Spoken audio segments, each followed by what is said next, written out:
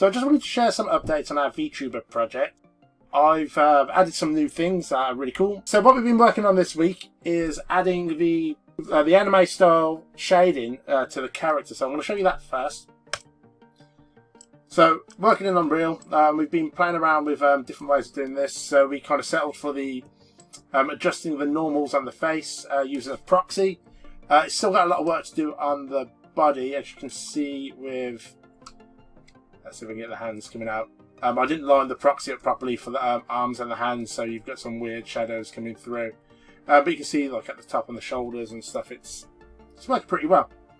Um, I still have to do some work on the lip, uh, facial expressions, because there's a lot more we can add to that. Um, they're very.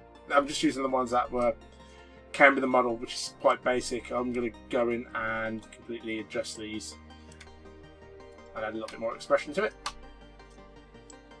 And also, with uh, so we can see we've, uh, we've added outlines to the character, um, and we've got some nice shadows uh, that aren't going crazy with the face. And also, as you can see, if I walk over to this side, the uh, the textures and everything are all dynamic, so it'll react uh, with any light or anything in the scene, uh, which is really cool. Um, so I'm still playing around tweaking those, um, and you can see as well there's a lot of work that needs to be done on getting the spring bones for the hair and stuff working correct. Um, but I've just kind of thrown them in there.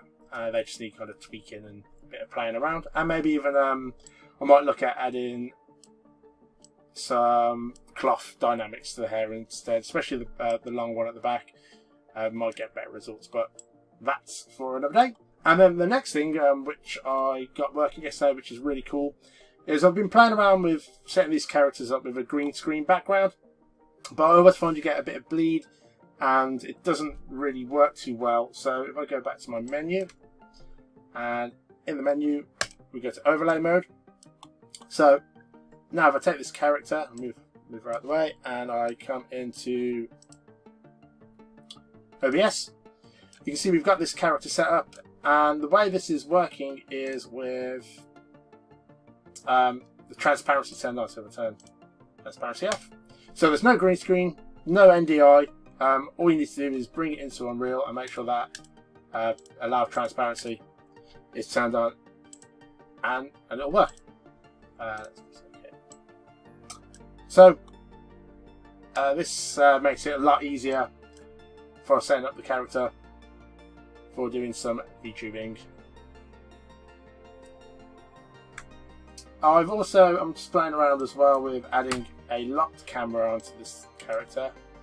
So in that case, if we do that, make it bigger, then if we use the um, walking left and right, you know, she can walk around. see, if I move the mouse, sorry, it moves the camera, which the face is following. So, testing one, two. As you can see from the like the lip sync, it's not very flush. It needs um, the morphs definitely need a bit of work. But uh, this is just an, uh, a new update on what we've been adding to the setup. If you have any ideas or any thoughts, let us know. Um, we're always trying to add more more things in. Again, what we're trying to do is just make an easy VTuber app that works, and we want it to work with any style of character, whether it's something like Mo in the background, or if it's um, an anime style character.